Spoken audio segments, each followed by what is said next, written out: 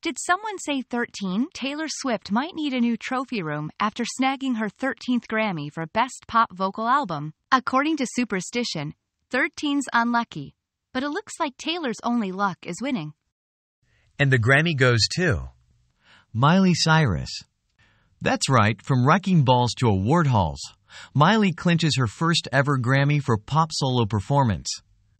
Talk about a party in the USA.